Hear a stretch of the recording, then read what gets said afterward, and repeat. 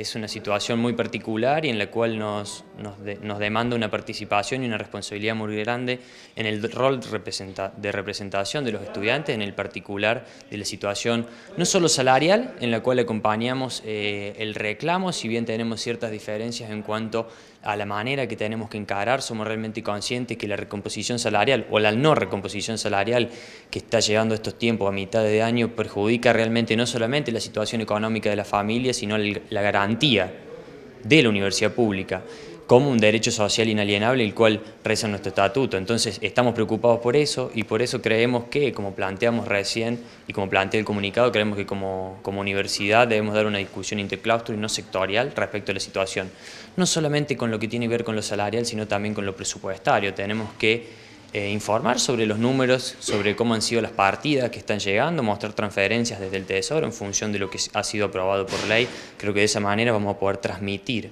a, la sociedad en su conjunto, la representatividad y cómo afecta a la universidad. Y tomando las palabras del rector en, en el propio seno del Consejo Superior, creemos que este debate se debe dar con las aulas llenas. Creemos que mientras los estudiantes estemos en nuestras casas, mientras no se dicten clases, no